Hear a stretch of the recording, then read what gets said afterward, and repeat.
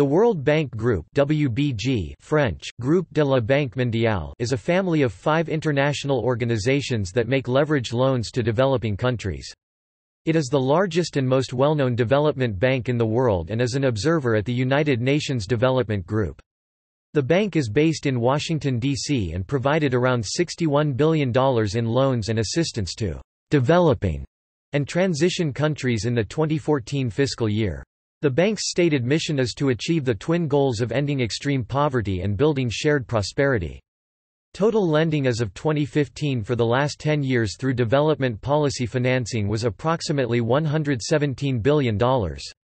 Its five organizations are the International Bank for Reconstruction and Development (IBRD), the International Development Association (IDA), the International Finance Corporation (IFC), the Multilateral Investment Guarantee Agency (MIGA), and the International Center for Settlement of Investment Disputes (ICSID). The first two are sometimes collectively and confusingly referred to as the World Bank. The World Bank's the IBRD and IDA's activities are focused on developing countries, in fields such as human development e.g. education, health, agriculture and rural development e.g. irrigation and rural services, environmental protection e.g. pollution reduction, establishing and enforcing regulations, infrastructure e.g. roads, urban regeneration, and electricity, large industrial construction projects, and governance e.g. anti-corruption, legal institutions development. The IBRD and IDA provide loans at preferential rates to member countries, as well as grants to the poorest countries. Loans or grants for specific projects are often linked to wider policy changes in the sector or the country's economy as a whole. For example, a loan to improve coastal environmental management may be linked to development of new environmental institutions at national and local levels and the implementation of new regulations to limit pollution. The World Bank has received various criticisms over the years and was tarnished by a scandal with the bank's then president Paul Wolfowitz and his aide, Shaha Riza, in 2007.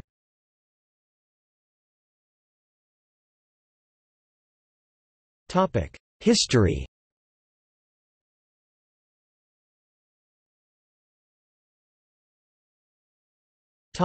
Founding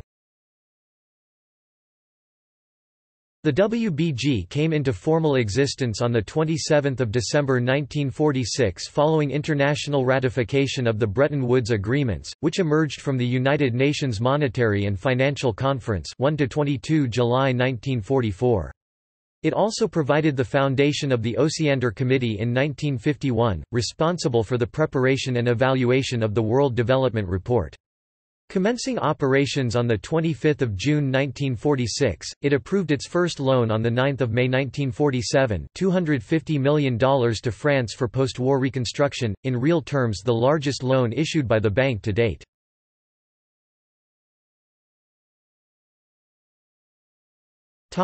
Membership All of the 193 UN members and Kosovo that are WBG members participate at a minimum in the IBRD. As of May 2016, all of them also participate in some of the other four organizations, IDA, IFC, MIGA, ICSID. WBG members by the number of organizations which they participate in Only in IBRD, none IBRD and one other organization, San Marino, Nauru, Tuvalu, Brunei.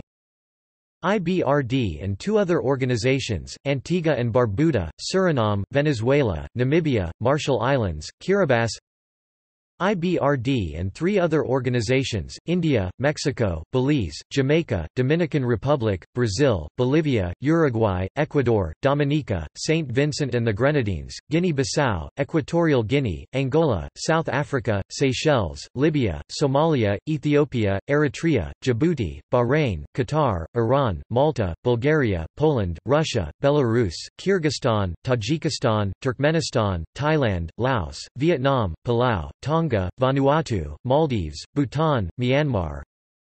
All five WBG organizations, the rest of the 138 WBG members non-members are, Andorra, Cuba, Liechtenstein, Monaco, State of Palestine, Vatican City, Taiwan, and North Korea.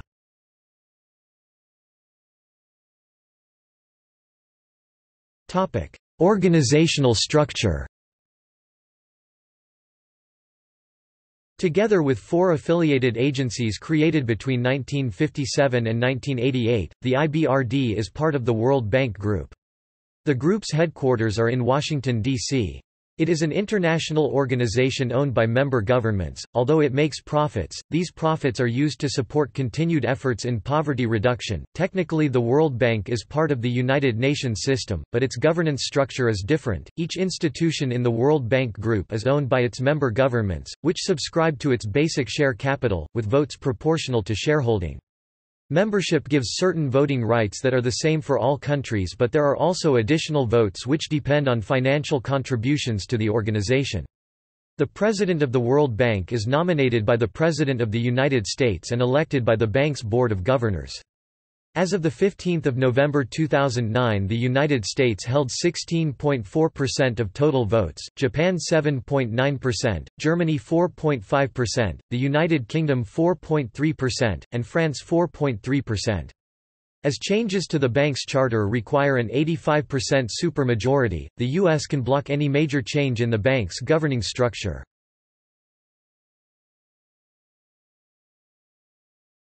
Topic: World Bank Group agencies. The World Bank Group consists of the International Bank for Reconstruction and Development IBRD, established in 1945, which provides debt financing on the basis of sovereign guarantees. The International Finance Corporation IFC, established in 1956, which provides various forms of financing without sovereign guarantees, primarily to the private sector the International Development Association IDA, established in 1960, which provides concessional financing interest-free loans or grants, usually with sovereign guarantees. The International Center for Settlement of Investment Disputes ICSID, established in 1965, which works with governments to reduce investment risk. The Multilateral Investment Guarantee Agency established in 1988, which provides insurance against certain types of risk, including political risk, primarily to the private sector. The term, World Bank, generally refers to just the IBRD and IDA, whereas the term World Bank Group or WBG is used to refer to all five institutions collectively. The World Bank Institute is the capacity development branch of the World Bank, providing learning and other capacity building programs to member countries. The IBRD has 189 member governments, and the other institutions have between 153 and 184 members. The institutions of the World Bank Group are all run by a Board of Governors meeting once a year. Each member country appoints a governor, generally its Minister of Finance. On a daily basis the World Bank Group is run by a board of 25 executive directors to whom the governors have delegated certain powers. Each director represents either one country for the largest countries, or a group of countries. Executive directors are appointed by their respective governments or the constituencies. The agencies of the World Bank are each governed by their articles of agreement that serve as the legal and institutional foundation for all of their work. The activities of the IFC and MIGA include investment in the private sector and providing insurance respectively.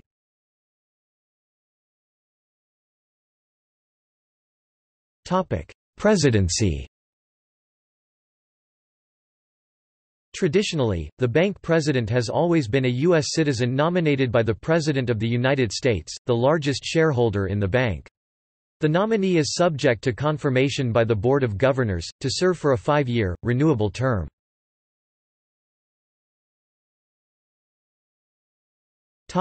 Current president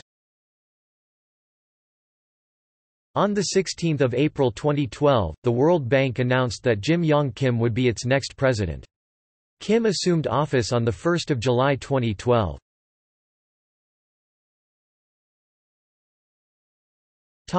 Managing Director Managing Director of the World Bank is responsible for organizational strategy, budget and strategic planning, information technology, shared services, corporate procurement, general services and corporate security, the sanctions system, and the conflict resolution and internal justice system. The present MD Shaolin Yang assumed the office after Sri Mulyani resigned from the post to take the charge as Finance Minister of Indonesia.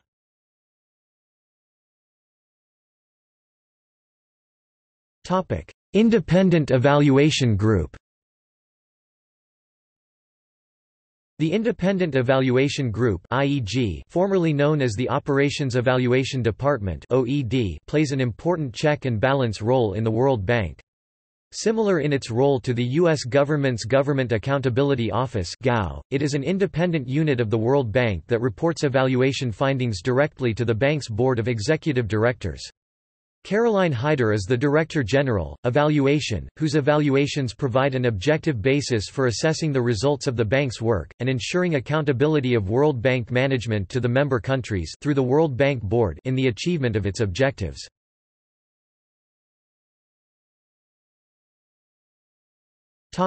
Extractive Industries Review After long-standing criticisms from civil society of the bank's involvement in the oil, gas, and mining sectors, the World Bank in July 2001 launched an independent review called the Extractive Industries Review not to be confused with Environmental Impact Report. The review was headed by an eminent person, Dr. Emil Salim former Environment Minister of Indonesia. Dr. Salim held consultations with a wide range of stakeholders in 2002 and 2003. The IR recommendations were published in January 2004 in a final report entitled, Striking a Better Balance. The report concluded that fossil fuel and mining projects do not alleviate poverty, and recommended that World Bank involvement with these sectors be phased out by 2008 to be replaced by investment in renewable energy and clean energy. The World Bank published its management response to the IR in September 2004, following extensive discussions with the Board of Directors. The management response did not accept many of the IR report's conclusions. However, the IR served to alter the World Bank's policies on oil, gas and mining in important ways, as has been documented by the World Bank in a recent follow-up report. One area of particular controversy concerned the rights of indigenous peoples. Critics point out that the management response weakened a key recommendation that indigenous peoples and affected communities should have to provide consent for projects to proceed, instead, there would be consultation. Following the IR process, the World Bank issued a revised policy on indigenous peoples.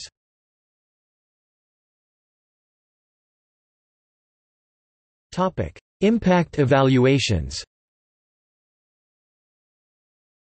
In recent years there has been an increased focus on measuring results of World Bank development assistance through impact evaluations. An impact evaluation assesses the changes in the well-being of individuals that can be attributed to a particular project, program or policy. Impact evaluations demand a substantial amount of information, time and resources. Therefore, it is important to select carefully the public actions that will be evaluated. One of the important considerations that could govern the selection of interventions whether they be projects, programs or policies for impact evaluation is the potential of evaluation results for learning.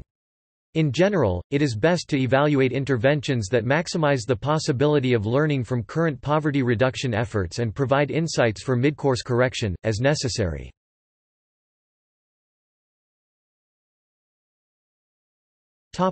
Access to information The World Bank policy on access to information sets forth a groundbreaking change in how the World Bank makes information available to the public. Now the public can get more information than ever before information about projects under preparation, projects under implementation, analytic and advisory activities, and board proceedings. Over the past 15 years, the World Bank's policy on disclosing information has evolved gradually. Until now, the World Bank's approach has been to spell out what documents the World Bank discloses. The new World Bank policy on access to information effective 1 July 2010, is a pivotal shift in the World Bank's approach to making information available to the public. Under the new policy, the World Bank will disclose any information in its possession that is not on a list of exceptions. This policy positions the World Bank as a leader in transparency and accountability among international institutions.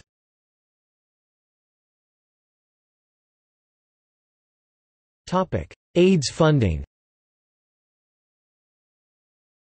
The World Bank is a major source of funding for combating AIDS in poor countries.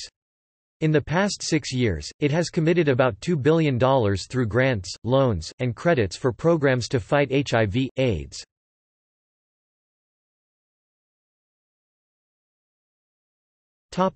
Criticism The World Bank has long been criticized by a range of non-governmental organizations and academics, notably including its former chief economist Joseph Stiglitz, who is equally critical of the International Monetary Fund, the U.S. Treasury Department, and U.S. and other developed country trade negotiators. Critics argue that the so-called free market reform policies, which the bank advocates in many cases, in practice are often harmful to economic development if implemented badly, too quickly. Shock therapy in the wrong sequence, or in very weak, incompetitive economies.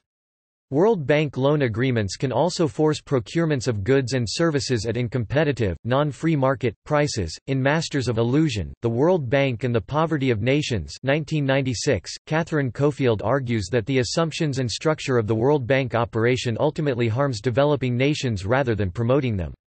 In terms of assumption, Caufield first criticizes the highly homogenized and Western recipes of development held by the bank. To the World Bank, different nations and regions are indistinguishable, and ready to receive the uniform remedy of development. The danger of this assumption is that to attain even small portions of success, Western approaches to life are adopted and traditional economic structures and values are abandoned. A second assumption is that poor countries cannot modernize without money and advice from abroad. A number of intellectuals in developing countries have argued that the World Bank is deeply implicated in contemporary modes of donor and NGO-driven imperialism and that its intellectual contribution functions, primarily, to seek to blame the poor for their condition. Defenders of the World Bank contend that no country is forced to borrow its money. The bank provides both loans and grants. Even the loans are concessional since they are given to countries that have no access to international capital markets. Furthermore, the loans, both to poor and middle-income countries, are at below market value interest rates. The World Bank argues that it can help development more through loans than grants, because money repaid on the loans can then be lent for other projects. Criticism was also expressed towards the IFC and MIGA and their way of evaluating the social and environmental impact of their projects. Critics state that even though IFC and MIGA have more of these standards than the World Bank they mostly rely on private sector clients to monitor their implementation and miss an independent monitoring institution in this context. This is why an extensive review of the institution's implementation strategy of social and environmental standards is demanded.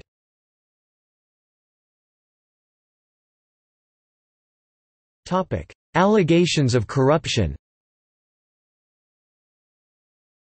The World Bank's Integrity Vice Presidency is charged with investigation of internal fraud and corruption, including complaint intake, investigation and investigation reports.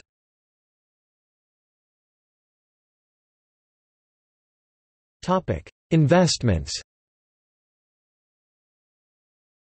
The World Bank Group has also been criticized for investing in projects with human rights issues. The compliance advisor, Ombudsman criticized a loan given to the palm oil company Dinant by the World Bank after the 2009 Honduran coup d'état. There have been numerous killings of peasants in the region where Dinant was operating. Other controversial investments include loans for the Chixoy hydroelectric dam in Guatemala while it was under military dictatorship, and a loan to Goldcorp then Glamis Gold for the construction of the Marlin mine.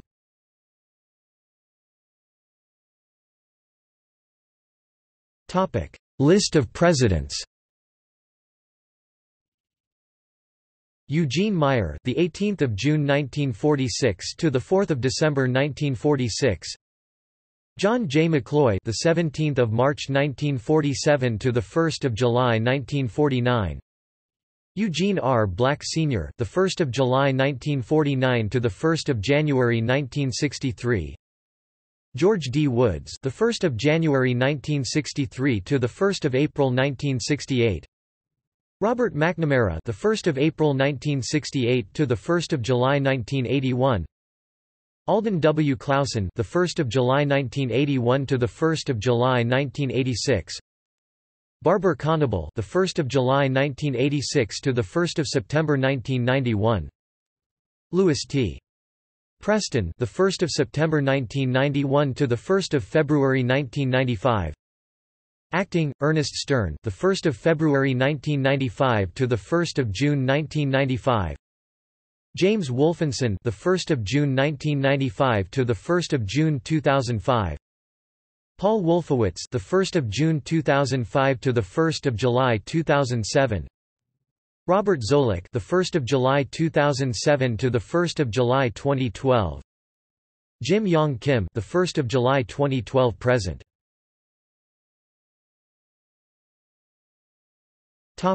List of chief economists. Hollis B. Chenery (1972–1982), Anne Osborn Krueger (1982–1986), Stanley Fischer (1988–1990), Lawrence Summers (1991–1993), Michael Bruno (1993–1996), Joseph E.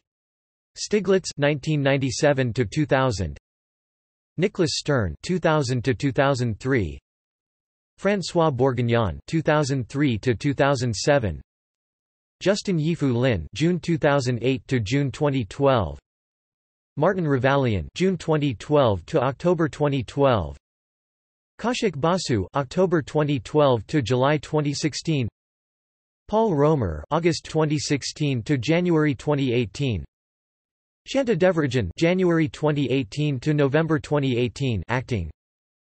Pinelopi Koujianou Goldberg November 2018 current. Appointed in April 2018 designate in November 2018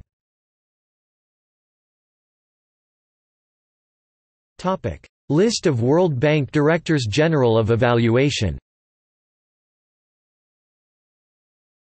Christopher Willoughby, successively Unit Chief, Division Chief, and Department Director for Operations Evaluation 1970 1976 Mervyn L. Weiner, First Director General, Operations Evaluation 1975 1984.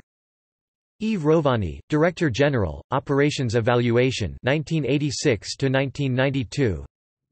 Robert Picciotto, Director General, Operations Evaluation 1992 2002. Gregory K. Ingram, Director General, Operations Evaluation 2002 2005. Vinod Thomas, Director General, Evaluation 2005 to 2011. Caroline Heider, Director General, Evaluation 2011 present. Topic: List of World Bank Board of Directors.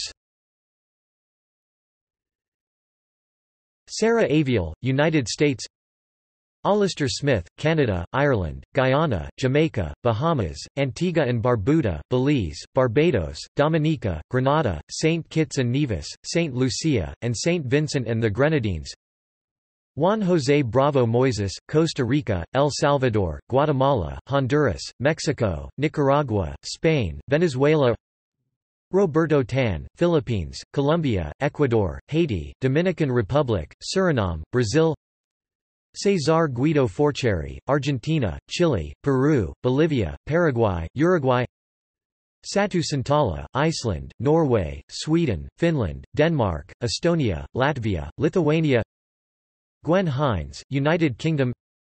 Ingrid Hoven, Germany. Hervé de Villeroché, France.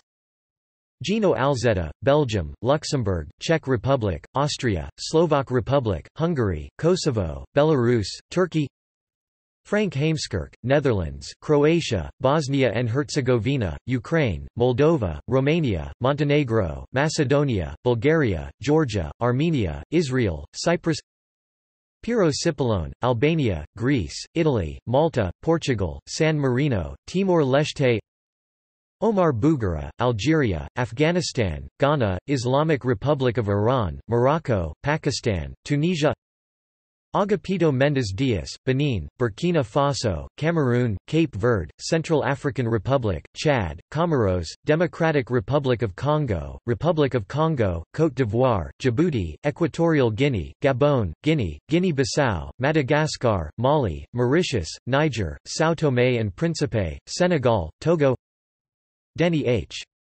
Kalyalya, Botswana, Burundi, Eritrea, Ethiopia, the Gambia, Kenya, Lesotho, Liberia, Malawi, Mozambique, Namibia, Rwanda, Seychelles, Sierra Leone, Somalia, South Sudan, Sudan, Swaziland, Tanzania, Uganda, Zambia, and Zimbabwe. Mansur Muhtar, Angola, Nigeria, South Africa Mirza Hassan, Bahrain, Arab Republic of Egypt, Jordan, Iraq, Kuwait, Lebanon, Libya, Maldives, Oman, Qatar, United Arab Emirates, and Republic of Yemen. Georg Frieden, Azerbaijan, Kazakhstan, Kyrgyz Republic, Poland, Serbia, Switzerland, Tajikistan, Turkmenistan, and Uzbekistan. Andrei Lushin, Russian Federation, Syrian Arab Republic. Shixin Chen, China Mukesh Nandan Prasad, Bangladesh, Bhutan, India, and Sri Lanka. Sundaran Annamalai, Brunei Darussalam, Fiji, Indonesia, Lao People's Democratic Republic, Malaysia, Myanmar, Nepal, Singapore, Thailand, Tonga, and Vietnam. Michael Wilcock, Australia, Cambodia, Kiribati, South Korea, Marshall Islands, Micronesia, Mongolia, New Zealand, Palau, Papua New Guinea, Samoa, Solomon Islands, Tuvalu and Vanuatu Hideaki Suzuki, Japan. Saudi Arabia's seat is currently vacant.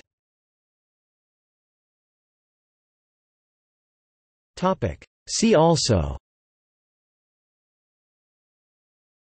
China and the World Bank